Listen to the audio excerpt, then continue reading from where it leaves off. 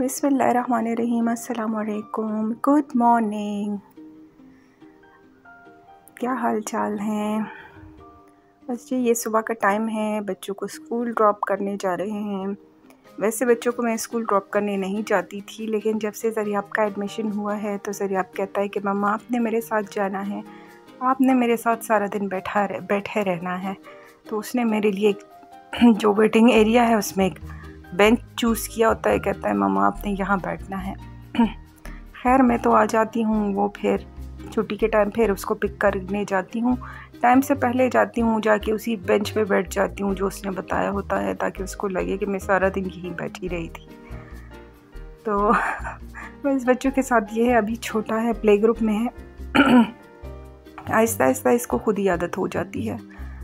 और मैं अक्सर सोचती हूँ कि हमारे जो पेरेंट्स हैं तो उन्होंने, यानी उनको अवार्ड देना चाहिए कि पहले तो इतनी फैसिलिटीज़ इतना कुछ भी नहीं होता था और उन्होंने जो है, हम सब बच्चों को, यानी सुबह सुबह उठाना स्कूल ले जाना, ये सब कुछ।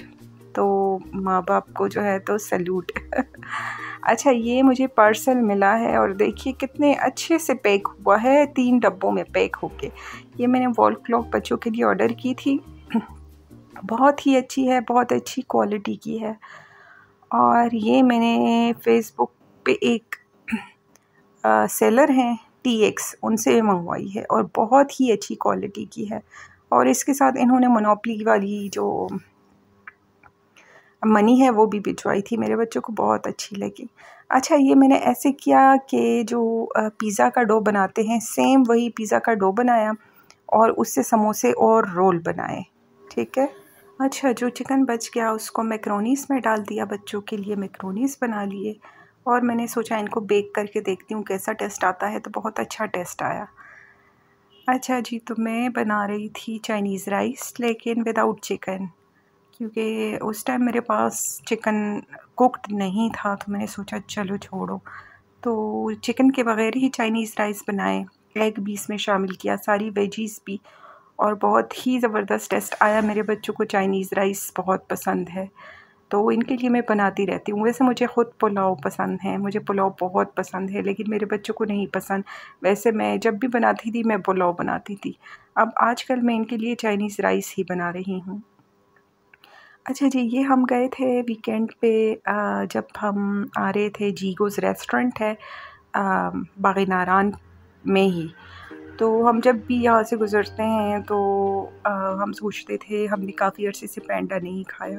पेंडा जो है तो ये डी खान का स्पेशल एक आ, इसकी एक स्पेशल डिश है सोबत भी इसको कहते हैं। ये जो आप देख रहे हैं ये बंदा आ, तवा पाइप की तरह तवा है।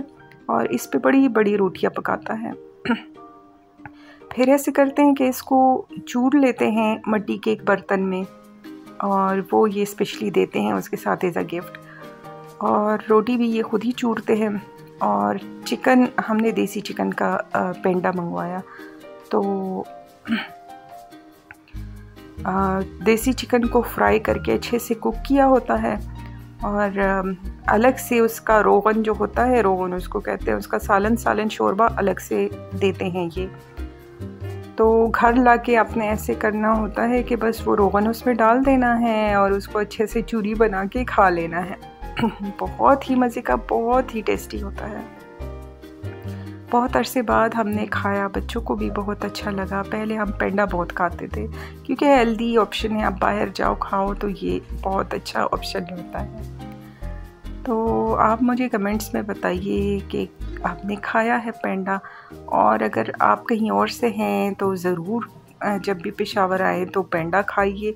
और मैं यहाँ ये जीकोस जो है, इनका पेंडा रिकमेंड करती हूँ। मुझे बहुत अच्छा लगा इनका। और जो देसी कुकड़ वाला है, वो तो और भी अच्छा है।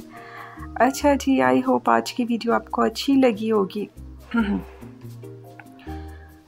इन फिर मिलेंगे। अल्लाह हाफिज़।